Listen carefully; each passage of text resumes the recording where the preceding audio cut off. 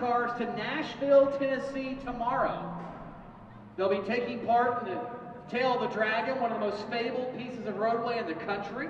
That's tomorrow's activity. They're going to be heading to Colorado. They're going to be taking a pass up Pikes Peak. They're going to Las Vegas, to our facility there.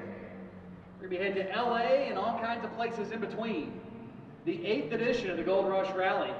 You can go to goldrushrally.com for more info on the competitors, on the cars, on the route.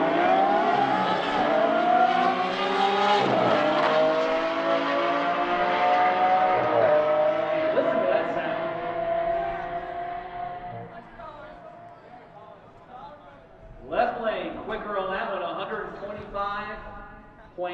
125.6.